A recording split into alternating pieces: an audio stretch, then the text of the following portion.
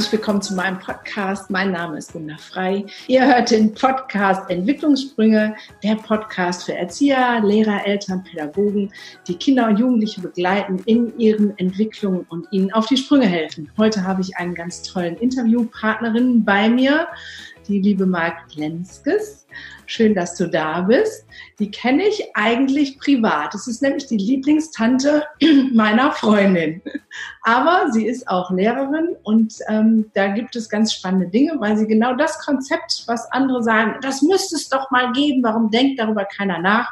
Es gibt es schon. Und heute hört ihr davon. Aber erstmal ein herzliches Willkommen, liebe Margret. Schön, dass du da bist. Ja, schön, Gunda. Das freut mich total. Äh, du hast mich ja vor einiger, einiger, Zeit mal angesprochen. Heute ist es soweit. Ich, wie gesagt, ich freue mich, bin ein bisschen aufgeregt, aber das äh, über meine Schule zu erzählen, ist größer als jedes Aufgeregtsein. Wunderbar.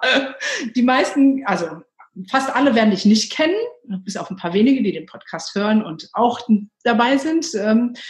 Genau. Jetzt haben wir schon verraten, du bist Lehrerin, aber du bist ja viel mehr als Lehrerin. Du bist auch eine Persönlichkeit. Wenn du jetzt eine Minute Zeit hast, um sozusagen dich vorzustellen, wer du bist, wie du tickst, was sagst du dann? Und zwar jetzt. Oh, oh, große Herausforderung. Eine Minute. Okay, vielleicht mal ganz kurz äh, zu meiner Person. Genau, ich bin 54, will ich erstmal so reingeben vom Alter her.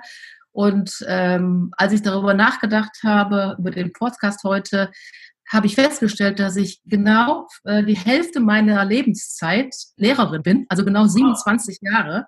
Cool. Und, ja, das fand ich auch ziemlich cool. Und ich habe Deutsch und Sport studiert und wusste also damals auch gar nicht, ob ich unbedingt Lehrerin werden wollte. Also das war jetzt also nicht so eine Berufung seit dem ersten Lebensjahr sondern ich habe es dann gemacht. Das Studium war klasse. Danach bin ich ins Ausland gegangen. Ich bin, äh, da muss ich immer ein bisschen schmunzeln, wenn Tobi Beck von seiner Lufthansa erzählt. Ich habe bei Hapag-Lloyd gearbeitet, Echt? bin auch viel in die Welt geflogen, ja. Und äh, bin darüber auch eine Zeit lang in Ägypten hängen geblieben, habe also da auch ähm, ein Jahr lang gelebt, weil ich immer auch gedacht habe, wie toll das mal wäre, vielleicht auch Lehrerin im Ausland zu sein. Bin dann aber zurück nach Deutschland gekommen, aber diese Erfahrung hat mir total geholfen. Ich habe äh, in Ägypten viel auf der Bühne gestanden, habe also schon gelernt, vor vielen Menschen zu reden und habe dann im Referendariat gemerkt, dass das genau mein Ding ist und habe aber auch das große Glück gehabt, von Anfang an super tolle Schulleiter zu haben, die einfach mir mit meiner Persönlichkeit Dinge immer ausprobieren zu wollen und mit der 100% Überzeugung, dass man im Leben sowieso am besten lernt, mir immer den Raum gegeben haben, dass kein Theater- oder Tanzprojekt im Außen sicher vor mir war, wo ich mit Schülern hingescheuert bin. Sehr und, äh, das hat sich bis heute letztendlich auch gehalten. Ich, äh, natürlich muss ich auch unterrichten. Das ist eine meiner, meiner Hauptaufgaben. Aber ich habe das große Glück, eben jetzt auch seit vier Jahren an einer Schule zu sein, wo das, ähm, ja, wo das ähm, 100 Prozent im Fokus steht, dass man aus Büchern lernt, dass das eins ist, aber dass... Ja, dazu gleich mehr, ja, nicht so viel. Ja, das war sehr, sehr charmant. Eine Powerfrau, die direkt mit ihrem Alter raushaut. Großartig. Und ich habe jetzt auch noch was über dich gelernt. Das wusste ich gar nicht, dass du auch äh, so viel unterwegs warst und als Flugbegleiterin und noch ein Jahr in Ägypten. Ich habe nur mitgekriegt, du äh, nutzt dieses eine Sabbatjahr, was es äh, in Schulen als Lehrer gibt, um schon mal ein Jahr dann dir die Auszeit zu nehmen, was ich schon gedacht habe, oh, das hätte ich auch gerne, aber ich habe ja auf Lehramt studiert und abgebrochen. Ich bin sozusagen raus. Inzwischen bist du ja nicht nur Lehrerin, sondern auch Direktorin oder Kondirektorin. Wie war es nochmal? Ja, ich bin seit eben seit vier Jahren bin ich, äh, das war nochmal so ein Veränderungsprozess, das habe ich in meinem Leben immer so alle paar Jahre. Dann merke ich, da muss ich nochmal gucken, wo, wo es lang geht. Und dann habe ich mich halt entschieden, auch, ähm, ja, wenn man wirklich Schule verändern will, dann kann man das am besten, da muss man auch Verantwortung übernehmen. Und dann habe ich mich entschieden, halt in die Schulleitung zu gehen und bin jetzt, äh, das nennt man an der Gesamtschule, Abteilungsleiterin 2. Das heißt, ich bin äh, für die Jahrgangsstufen 8 bis 10, bin ich halt im Rahmen des Schulleitungsteams verantwortlich. Mhm. Okay, also da hast du schon gesagt, du bist eine, die deswegen ja auch hier im Podcast, die auch am Schulsystem gerne ein bisschen mithelfen möchte, das, was in Schwung kommt, was würdest du denn erstmal sagen, ist das jetzt mal fernab von dieser besonderen Schule, an der du arbeitest, wo wir auch gleich zu kommen, aber was würdest du denn sagen, ist das größte Defizit an der herkömmlichen Schulform, ähm, wo du sagst, das ist eigentlich das, was am meisten der Veränderung bedarf? Das ist eine Frage, die fällt mir sehr schwer, ich merke das gerade, zu beantworten, weil ich äh, wirklich das Defizitdenken ziemlich aus meinem äh, Kopf rausgeschnitten habe. Ich kann dir darauf nicht antworten, Gunda, sondern äh, ja. Und du hast damit gleichzeitig die Antwort gegeben, ohne dass du es gemerkt hast. Weil was macht Schule, die normale Schule?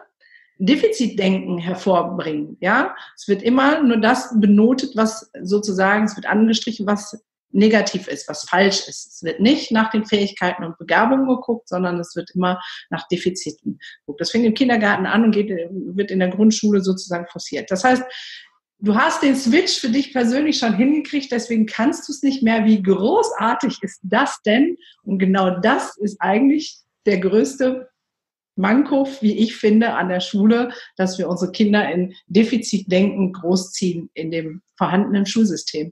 Du hast die Frage beantwortet. Nur anders. Ja, ich merke auch, wenn ich dir so zuhöre, das ist, äh, das ist so. Ich kann es, ich kann es nicht. Ich merke auch so, ich hab, äh, bin auch in verschiedenen Plattformen lehrermäßig unterwegs und äh, wie oft da immer über die Probleme und das Negative gesprochen wird. Und ich kann, äh, ich habe so das Gefühl, wenn ich da poste, ich kriege auch keine Kommentare. weil, ja, weil es einfach eine andere Richtung ist, ja. die, äh, die ist anscheinend noch nicht so gewünscht oder noch nicht so attraktiv, dass man sich auf dieser Ebene einlassen will. Deswegen sind wir hier angetreten, damit es attraktiver wird.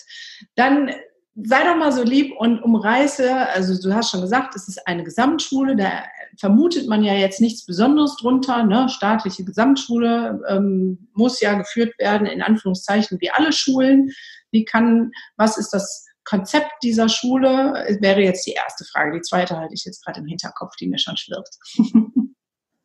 Ja, ich glaube, erstmal ist es mir schon wichtig, auch genau das aufzugreifen, was du gerade gesagt hast. Es ist eine staatlich-öffentliche Schule weil ähm, so wie wir arbeiten, tun das meistens nur Privatschulen.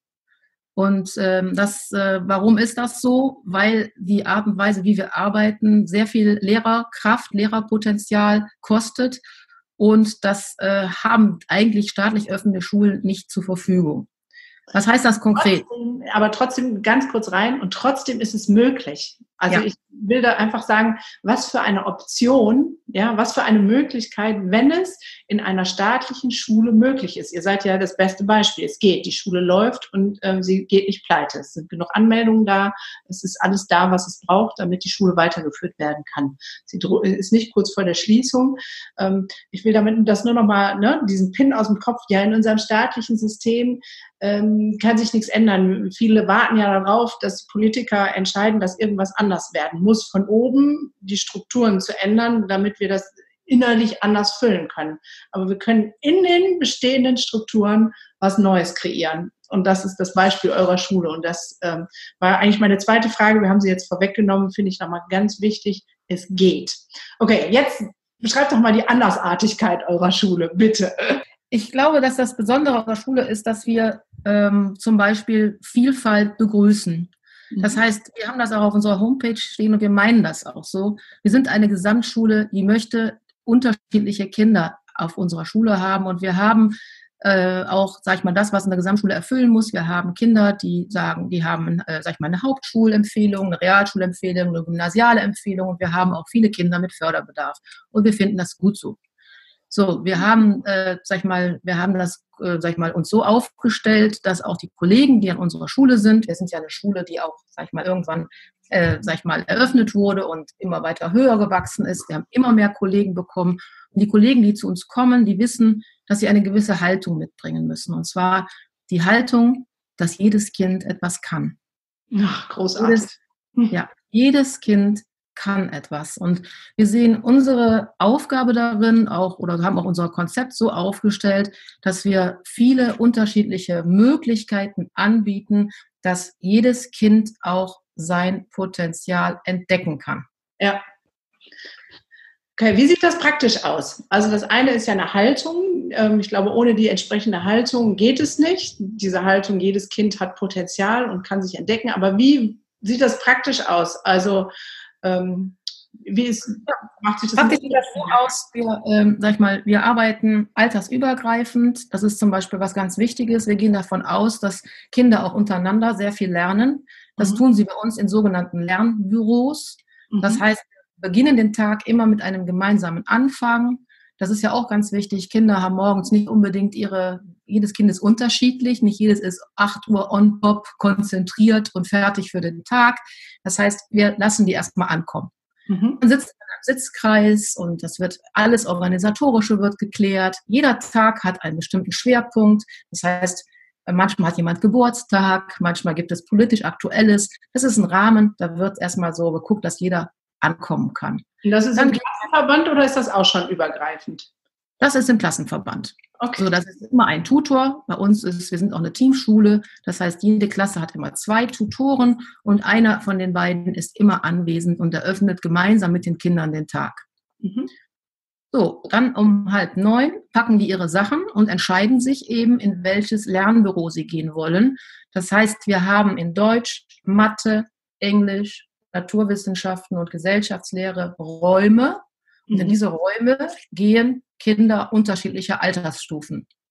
Das heißt, im Lernbüro Deutsch als Beispiel sitzt ein Fünfklässler neben einem Achtklässler oder ein Neunklässler neben einem Zehntklässler und alle haben ihren eigenen, also altersentsprechenden Unterrichtsstoff vor sich liegen und arbeiten anderthalb Stunden in Ruhe und konzentriert an ihren Aufgaben. Das heißt, der Lehrer ist wirklich nur sag ich mal, Ansprechpartner, wenn er selber, wenn der Schüler selber das nicht findet, äh, sagen wir nicht, nicht weiterkommt. Ja. Er darf auch einen Älteren fragen. So, und äh, dann, wenn da, wenn, wenn da er nicht weiterkommt, dann kommen wir als Lehrer und versuchen eben durch Fragestellungen und so weiter wieder so ein bisschen auf die Sprünge zu helfen. Ja, aber das ist dann ja weg von der Wissensvermittlung von vorne, weil äh, man kann ja nicht einen fünften, achten, Zehnkleister von vorne sozusagen Input geben, weil die brauchen ja unterschiedlichen Input. Woher bekommen die Schüler also ihr, in, ihre Informationen und ihr Material, was sie dann erarbeiten sollen? Das ist eben in diesen Lernbüros. Das heißt, äh, ich, es gibt bei uns nennt man, wir haben jetzt keine klassischen Unterrichtsreihen mehr, wir nennen das Bausteine. Ja. Das heißt, in der fünften Klasse arbeitet eben der Junge im gleichen Raum an seinem Baustein Märchen. Den hat er mhm. vor sich liegen, den hat er vom Lehrer bekommen. Mhm. Da hat er sechs Doppelstunden Zeit, daran zu arbeiten, auf verschiedenen Stufen, weil in diesem Raum sitzt ja auch der schwache Schüler, genauso neben dem vielleicht der Schüler, der mehr Potenzial hat. Und jeder hat für sich speziell sein, sag ich mal, seine Stufe, auf der er an dem Thema arbeiten kann. Aber das heißt ja letztendlich auch, dass die Eigenverantwortung der Schüler ähm, sehr im Vordergrund steht, weil wenn jetzt keiner da ist, der jetzt vorher was über Märchen erzählt, sondern es nur das Material gibt und ich mir das eigenverantwortlich erarbeiten muss, ist es ja eine höhere Leistung, die die Schüler da erbringen müssen. Auf jeden Fall. Das heißt, erstmal braucht es eine hohe Lesekompetenz. Mhm. Und das ist ja das, was ja auch ganz oft im Außen, äh, Entschuldigung, Wunder, ich habe hier wieder Ihre Internet, äh, hörst du mich noch? Ja, ich höre dich noch. Okay. Ne, das heißt, äh, jetzt habe ich den Faden verloren. Äh, Lesekompetenz, genau, das ist ja das, was letztendlich oft im Außen auch äh, ne, so bemängelt wird, ne, was die Schüler ja nicht mehr können, lesen und verstehen. Das wird bei uns eben geschult. Das heißt, bei uns kommen die Kinder ja von unterschiedlichen Grundschulen. Man lernt das natürlich. Man wird rangeführt. Man hat ein halbes Jahr in der fünf auch erstmal Zeit, sich überhaupt an das System zu gewöhnen ja. und dann natürlich eigenverantwortlich sich zu organisieren. Ne, das ist sowieso bei uns an der Schule wichtig, dass ständig ein Gespräch, also eine Beziehung zwischen Lehrer und Schüler existiert. Natürlich kann der Schüler äh, fragen. Er braucht, der eine braucht auch mehr Unterstützung als der andere. Aber das ist okay. Ja. Und dafür gibt es Formate, also ich habe ja nur von den Lernbüros angefangen. Wir sind natürlich ganz, äh, sag ich mal so, das ist ein Baustein von vielen Modulen, wo letztendlich, die wir alle brauchen, damit das System funktioniert. Okay, was gibt es noch für Module? Also jetzt hast du die Lernbüros genannt, was gibt es noch? Ja, in den Lernbüros, wie gesagt, da findet die Einzelarbeit letztendlich statt in Ruhe. Mhm. Und auch jedes Kind schreibt seinen eigenen Test, wenn es fertig ist. Also wir schreiben keine Klassenarbeiten. Sowas gibt es bei uns nicht. Krass. Sondern, das heißt, der Schüler selber bekommt auch im Eins zu eins Gespräch seinen Test zurück. Mhm. Das heißt, er bekommt auch ganz individuelle Rückmeldungen, was er noch nachholen oder wo er noch mal äh, gucken muss, um etwas zu verbessern. Ja. So, also ein ganz ruhiger Baustein. So, lebendig wird es bei uns in den Werkstätten. Ja. Werkstätten ist ein Oberbegriff für die Fächer Kunst, Musik, Religion, Arbeitslehre. Mhm. Da soll auch im Team, in Partnerarbeit, Gruppenarbeit, da werden im Prinzip Dinge erstellt. Das darf da auch ein bisschen lauter zugehen. Und äh, ne, auch das ist wieder ein Format, was altersgemischt stattfindet. Ja. Und äh, wo man aber im Prinzip, wie gesagt, wo man auch mal sich bewegen darf. Krass. Ich möchte bei euch auf die Schule nochmal gehen. Darf ich nochmal kommen? Auf jeden Fall. Komm vorbei, Als Schülerin meine ich. Über was. ja, und dann gibt es noch sogenannte Projektzeiten. Das ja. findet im Klassenverband statt.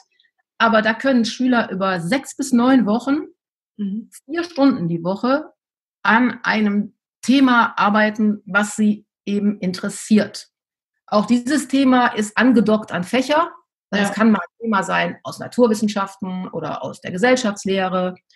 Und dann werden, können die Schüler selber Unterthemen daraus entwickeln ja. und dann sagen, so, wir arbeiten da jetzt in dieser Gruppe an diesem Thema. Dann müssen die recherchieren, müssen zur Bibliothek gehen, ja. müssen sich vielleicht andere Medien an Land ziehen, um äh, daraus im Prinzip äh, das Thema zu erarbeiten. Und am Ende steht immer eine Präsentation vor der Gruppe. Das heißt, bei uns lernen die Schüler in der 5 schon ganz selbstverständlich äh, in jeder, also jede Projektzeit mit einer Präsentation vor einer Gruppe abzuschließen. Krass. Das wie, ist echt krass. Wie viele Jahrgänge haben nach dem System schon sozusagen ihr Abitur oder ihr Abschluss gemacht?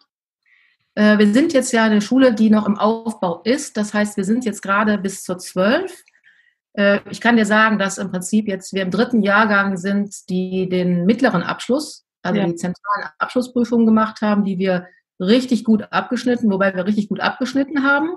Ja. Und nächstes Jahr kann ich dir mehr dazu sagen, dann äh, haben die ersten Abiturienten ja Abi. Und, und die, die äh, sozusagen die drei Jahre die äh, mittleren Reife gemacht haben, ähm, wie ist denn da die Quote, was Ausbildung und äh, so angeht? Sind die alle gut? Also weißt du da was, wie die ähm, sozusagen ihr beruflicher Werdegang nach der Schule jetzt so ist? Also erstmal muss man sagen, dass bei uns erstmal ein gutes Drittel geht weiter in die Oberstufe. Mhm. Und äh, ein weiteres Drittel, ein bisschen mehr als ein Drittel, geht an weiterführende Schulen. Das ist ja oft so, das bemängeln ja auch letztendlich die ganzen, ähm, sag ich mal, Handwerksberufe oder Ausbildungsberufe. Es ist ja so, dass eben nach der mittleren Reife die wenigsten wirklich in den, direkt in den Ausbildungsberuf gehen. Mhm. Wir bereiten unsere Schüler natürlich auch darauf vor, aber es sind, ich glaube, wenn ich 15 Prozent, sage ich jetzt mal so, die wirklich in den Ausbildungsberuf gehen. Aber was wir da an Rückmeldung bekommen, das bekommen wir aber auch ähm, im, im Rahmen von Praktika oder anderen Formaten rückgemeldet, dass unsere Schüler erstens unglaublich freundlich sind, weil bei uns sind immer viele Menschen, wir haben, muss man vielleicht auch dazu sagen, wir haben wirklich ein Haus der offenen Tür. Ja. Und auch bei den Lernbüros, unsere Türen sind immer offen. Mhm. Und unsere Schüler sind gewohnt, dass einfach Menschen da sind. Das heißt, sie sind sehr offen, die fragen, die ja. wollen etwas wissen, die wollen etwas verstehen und die sind sehr lernfreudig. Und das ist das, was wir einfach auch erreichen wollen. Man muss nicht alles wissen, aber wenn man was nicht weiß, muss man fragen. Und äh, ich würde da jetzt noch, ohne dass ich ähm, ein Ausbildungsbetrieb wäre, der so einen wunderbaren Menschen bei mir äh, als Praktikum oder sonst was hätte, aber von dem System her, ihr bringt den Eigenverantwortlichkeit bei, ja, dadurch auch ein gewisses Maß an Mitdenken durch diese Struktur und diese Schulform mit den Projekten und den Bausteinen, ähm, plus vor Menschen sprechen zu können, ja, und diese, dieses, ähm, nicht äh, alle kriegen die Klassenarbeit ausgeteilt, da steht da eine Note drauf, sondern im Prinzip ein ehrliches Feedback geben. Das sind ja menschliche Qualitäten, die in jedem Job ähm, händeleckend genommen werden. Also das ist ja ähm, eine Zukunftsinvestition in unsere Gesellschaft. Das ist ja der Hammer. Also ich kann dir, da kann ich dich nur bestätigen, ich kann dir auch nochmal sagen, äh, wir, wir bekommen so viele Rückmeldungen aus unterschiedlichen Feldern. Bei uns arbeiten zum Beispiel auch sehr viele Studenten und wir haben auch eine Kooperation mit der Rheinisch-Westfälischen Technischen Hochschule in Aachen, weil wir wirklich, wir sind eine Schule mitten in der Stadt. Wir haben da, sag ich mal, einen kurzen Weg.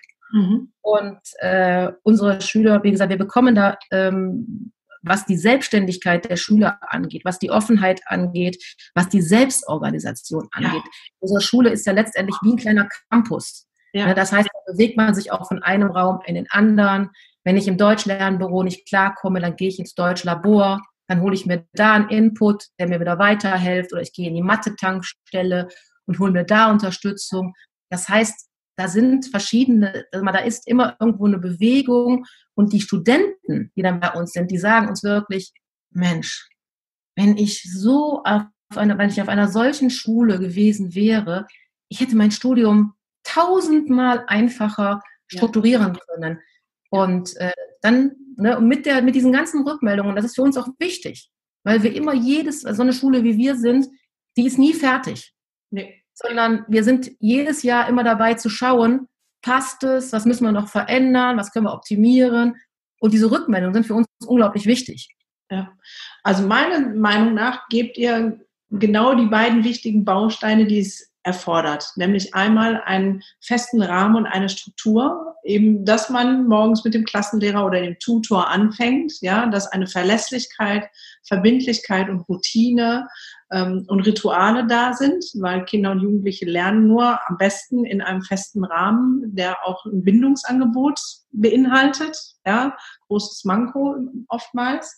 Ähm, gleichzeitig mit dieser Möglichkeit, sich selbst zu e-, explorieren, eigenverantwortlich ähm, seine Dinge zu machen und die Basic, Basics, die man auch später im Berufsleben braucht, ne, wie eigenverantwortlich sich Dinge erarbeiten, lernfähig und lernwillig sein, von Gruppen sprechen großartig. Oh, ich möchte auch.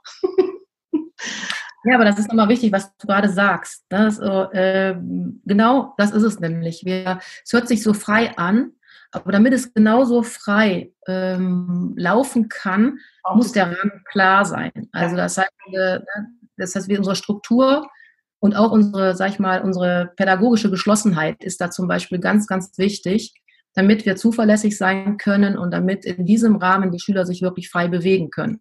Ja. Ein System, was auch auf großes Vertrauen beruht, also ja. untereinander auch. Wir, ne, das wird vielleicht auch eine Frage sein, die sich vielleicht der Zuhörer stellt. Ne, ja, aber wie kann man gewährleisten, ne, dass die Schüler denn auch wirklich lernen und dass sie da sind, wo sie sein sollen? Äh, ja, das hat was mit Vertrauen zu tun. Äh, wir haben aber auch ein sogenanntes Logbuch. Das ist vielleicht noch nicht unwichtig zu wissen. Wir haben Klassenbücher durch Logbücher ersetzt. Jeder Schüler ist selber in der Verantwortung, auch nachzuweisen oder eben auch Buch zu führen darüber, was er wann wo gemacht hat. Und wir Lehrer unterzeichnen das. Insofern kann man auch den Lernprozess, der ist dann dadurch auch dokumentiert. Ja. Und äh, in einer, sag ich mal, unsere Schüler haben alle zwei Wochen eine individuelle Beratung, ein eins zu eins Gespräch, wo man auch dann darauf gucken kann, um dann zu schauen, was läuft gut, äh, warum läuft das gut, äh, wenn es nicht gut läuft, warum läuft es nicht gut, was brauchst du? Und äh, das ist zum Beispiel, sag ich mal, der Kit unseres ganzen, sag ich mal, neben dem Rahmen ist, sag ich mal, Beratung und Beziehung und in Kontakt sein, sag ich mal, unser Kit, was unser System auch zusammenhält. Also es gibt ja diesen wunderschönen Spruch, ne? Bindung geht vor Bildung. Nur wenn ein Bindungsangebot da ist, ist auch Bildung oder ist der Kopf aufnahmefähig, der Geist ähm, was aufzunehmen. Das ist natürlich eine super Schnittstelle, die ihr da ähm, bietet. Das ist schon ziemlich ähm, großartig. Also im Prinzip die drei Säulen, ne? Bindung an Rahmen und Struktur ähm, und die Freiheit, sich selbst entdecken und selbstständig lernen zu können. Wenn denn jetzt andere Menschen, die das hören, Lust hätten, sich darüber ein bisschen mehr zu informieren, gibt es ein offizielles Konzept, was irgendwo niedergeschrieben ist in dieser Art und Weise? Wäre eine Frage. Ja, also ich würde ehrlich gesagt, weil, also ich mache die Erfahrung bei uns, äh, dass eben viele Menschen, die von unserem Schulkonzept hören, denken, äh, kann das wirklich funktionieren?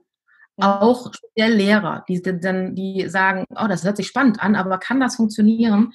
Und deswegen haben wir an der vierten Aachener Gesamtschule einen Hospitationstag. Das ist, glaube ich, ist immer einmal im Monat ein Dienstag. Da kann man sich auf unserer äh, Homepage informieren und auch anmelden, weil ich glaube, manchmal muss man es einfach sehen, um ja. zu glauben. Und ja. Okay, also, liebe Hörer, eine herzliche Einladung, dienstags, einen Dienstag im Monat äh, zu hospitieren an dieser wundervollen Schule in Aachen. Ich werde den Link von der Homepage hier unter den Podcast stellen, damit ihr das finden könnt. Ähm, Genau, das ist ein guter Hinweis, großartig. Bitte anmelden, nicht, dass die Schule dann völlig überlaufen ist mit ganz vielen, die sagen, das möchten wir auch. Aber je mehr das möchten, umso mehr Schulen gibt es vielleicht mit diesem wunderbaren Konzept. Und bei dem, was du beschrieben hast, den Bogen wollte ich gerade noch sparen, habe ich jetzt auch verstanden, warum es mehr Aufwand für die Lehrer bedeutet. Ne? Weil alle zwei Wochen mit jedem Schüler ein persönliches Gespräch führen, ist natürlich ein anderer Aufwand als nur in die Klasse gehen, den Stoff runterzuspulen und wieder rauszugehen. Ja, da möchte ich noch ganz kurz gut ergänzen. Das ist das, was meine Kollegen lieben und was wir auch alle wollen und was echt äh, einfach auch, ähm, ich glaube, äh, zwar auch mehr Arbeit ist, aber eben auch freudvolle Arbeit. Was man nicht vergessen darf, ist, für so ein Schulkonzept gibt es keine Bücher. Ja. Das heißt, äh, wir müssen, die Hauptarbeit ist auch, wir müssen, äh, sag ich mal, die Bausteine alle selber erstellen mhm. aus Büchern heraus zu gucken, was passt und was ist selbsterklärend und so weiter. Und das machen meine Kollegen eben auch in den Ferien. Ne? Das heißt, äh, den, den Vorteil, die Erleichterung hat man natürlich dann im Alltag, weil man eben nicht mehr die einzelne Stunde auch vorbereiten muss, wenn man im Lernbüro ist, sondern dann im Prinzip von dem Baustein, der selbsterklärend ist, auch äh, profitieren kann und wirklich nur noch als Coach und Berater in diesem, äh, in, im Lernbüro tätig ist. Ja. Ja, das ist natürlich ein großer Arbeitsaufwand und einfach auch, wenn man, das weißt du selber, sprechen, in Kommunikation sein, hm. das ist einfach auch anstrengend, auch manchmal. Ja, ja das weiß ich wohl. Ja, und äh, ich glaube, da ist einfach so auch, ähm, also wirklich auf dem Gang stehen zu bleiben, immer ein offenes Ohr zu haben und eben immer nach Lösungen zu schauen, damit, wenn, ich meine, was, was heißt das, wenn man sagt, jedes Kind soll sein Potenzial entfalten? Das ist leicht gesagt. Ja. Aber äh, dafür muss man eben auch erstmal die Augen offen halten und viel sehen und viel mitbekommen. Und insofern ist das ein Tag, der dann, wo man weiß, was man getan hat, wenn der Tag zu Ende ist. Ja, das glaube ich dir. Ich schätze meine Kollegen in dem Sinne unglaublich und bin super, super froh, dass ich in so einem Kollegium arbeiten darf, weil das einfach, äh, ja, weil das Freude macht, zusammen nach dem Positiven zu schauen. Und das Negative, weißt du, da ist so viel sowieso schon einfach da. Und diese Fokusveränderung, die ist unglaublich wohltuend. Ja, wunderbar, großartig. Ich habe immer noch eine sozusagen kleine Abschlussfrage. Wir kommen so zum Ende des Podcastes, damit es nicht zu lange wird. Ähm, jetzt bist du ja eine sehr innovative Frau, die äh, neu, neu, denkt, neu inspirieren lässt und äh, die Schritte geht, eine richtige Powerfrau. Deine Schulkarriere war mit Sicherheit anders. Das ähm, musst du wirklich wissen. Nein, keine Sorge. nicht im Detail, nicht im Detail. Aber ich stelle immer gerne die Frage, was würdest du der jungen Margret als Tipp mitgeben? Die, die vielleicht gerade in der achten Klasse ist, nehmen wir mal. So, wenn die, du jetzt heute in deinem Alter zu der ähm, achtjährigen Margret zurückreisen könntest und ihr einen kleinen Tipp geben würdest, für die Zukunft? Was würdest du ihr sagen? Der Achtjährigen. Mhm. Trau dich. Was genau soll sie sich trauen? Sich zu, sag ich mal, mehr Fragen zu stellen, äh, mehr Vertrauen ins Leben vielleicht auch zu haben, ähm, mutig Dinge auszuprobieren. Das, was ich meinen Schülern vielleicht auch heute sage. Und zwar, ähm, alles ist gut. Also ähm, trau dich, probier dich aus, mach Fehler. Fehler machen sind wunder, wunderschön. Mhm. Und äh, daran wirst du wachsen. Und ich, äh, dann würde ich der kleinen Margaret wohl auch noch sagen. Und wenn es mal ganz schlimm ist, ich bin ja da. sehr schön. Das ist ja sehr cool. Ähm, jetzt auf dem Weg, du hast ja auch selber persönlich einen äh, spannenden Weg hinter dir. Gibt es so eine oder zwei Sachen, wo du sagst, davon hast du am meisten gelernt, das hat dir am meisten gebracht, dich dahin zu entwickeln, wo du heute bist? Und was wäre das? Also ich glaube, du hast ja eben schon mal meine Sabbatjahre auch ähm, äh, sag ich mal, erwähnt. Ich war immer, oder ich auch, wenn ich dran denke, dass ich da bei Hapag-Lloyd gearbeitet habe, ich habe äh, da im Ausland gearbeitet. Ich fand das auch heute, finde ich das super, super wertvoll, dass ich was anderes kennengelernt habe. Ne, viele Kollegen kommen ja von der Schule übers Studium in die Schule. Ja. Und ähm, mir hat das unglaublich viel gebracht, dass ich mir andere Dinge angeschaut habe. Dass ich auch mal ähm, eben gesagt in anderen Berufen unterwegs war, dass ich Zwischenstationen hatte. Und die Sabbatjahre habe ich immer genutzt. Ich bin echt in, durch die Welt geflogen und ich liebe die Welt und habe mir andere Schulen angeguckt. Ich bin in Indien in Garagen, habe ich mich hingesetzt und habe da gesehen, wie Kinder lernen können. Und seitdem weiß ich einfach, dass es echt mühselig ist, zu hadern, wenn Ausstattungen nicht da sind und daran etwas scheitern kann. Man kann andere Möglichkeiten finden und diese Offenheit, letztendlich mal über den eigenen Horizont zu schauen, wie andere es machen und so, das hat mir, das hat mir einfach unheimlich viel gebracht. Ich bin dann immer sehr inspiriert wieder zurückgekommen, konnte viel besser fünfmal gerade sein lassen und äh, ja, und dann ist Improvisieren manchmal auch, äh, sag ich mal, angesagt, um und man muss dann einfach mal ein bisschen das Perfekte beiseite lassen und miteinander, miteinander schauen, wie es geht. Und da sind Schüler manchmal unheimlich tolle Ratgeber und Mitdenker. Man muss nämlich als Lehrer nicht immer alles wissen, ja. wenn man da mal von runterkommt, sondern gemeinsam versucht, Lösungen zu suchen. Also das hat mir einfach, äh, ja, hat mir über die Jahre sehr, sehr geholfen. Okay, das könnte man zusammenfassen unter über den Tellerrand schauen und ähm, sozusagen sich verbinden und miteinander sprechen. Und das ist ja, ja und auch noch vielleicht äh, wirklich Dinge ausprobieren, Selber ausprobieren, vorgehen. Das ist, hat mir sehr geholfen. Ich habe äh, da kommen wir ja vielleicht an anderer Stelle nochmal zu, warum ich jetzt auch einfach äh, mein Herzensprojekt das Erfahrungslernen ist, das Projekt Herausforderung. Und wenn man etwas als Lehrer vermitteln will, dann muss man vorgehen. Ja. Es ist am besten, wenn man weiß, wovon man spricht und nicht aus der, aus der Theorie heraus, sondern dass man Dinge selber ausprobiert und auch aushalten kann, Fehler zu machen. Wie soll ich sonst einem Kind beibringen, dass Fehler machen okay ist? Das ist so wahr. Das ist die Vorbildfunktion. Also, liebe Hörer, geht voran. Schaut über den Tellerrand, connectet euch, besucht diese wunderbare Schule, hospitiert und guckt, was in euren Berufsfeldern möglich ist, vielleicht zu ändern im Sinne unserer Kinder, dass ähm, sich was vielleicht in ganz Deutschland ändert und nicht nur in einer Gesamtschule in Aachen. Das wäre super schön. Ja, da, mein Herz, Feuer und Flamme, du weißt es. Und ähm, wir hören die Margret noch in einer weiteren Podcast-Folge. Da geht es genau um das Projekt Herausforderungen. So viel sei schon mal verraten. Das ist auch ähm, Lernerfahrung auf der ganz anderen Ebene und trotzdem im Kontext und Rahmen Schule. Da dürft ihr jetzt schon mal sehr gespannt drauf sein. Und ähm, ja, wer sich selber herausfordert gefühlt hat jetzt und vielleicht gar nicht den Anfang weiß, der darf auch gerne sich äh, zur Masterclass of Happiness anmelden. Jeder Podcast-Hörer bekommt einen Rabatt und bald gibt es auch einen Videokurs. Wie komme ich in die Veränderungen von mir? Auch den gibt es dann ein bisschen rabattiert. Aber an dieser Stelle nochmal ganz herzlichen Dank, Margret, für deine Zeit.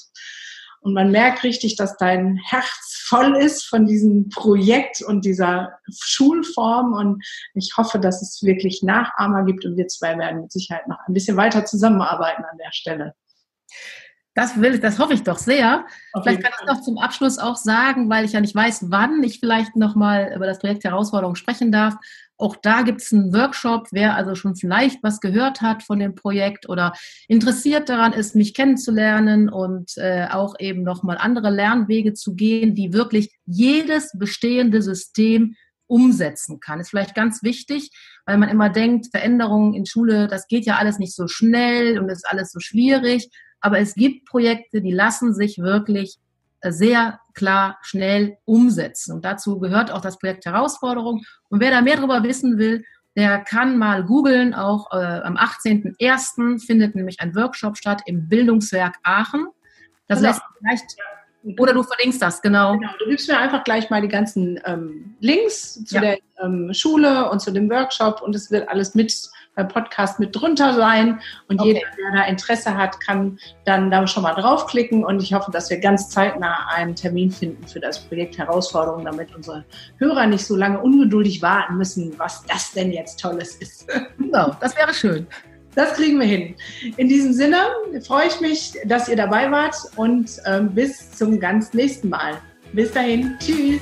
Tschüss.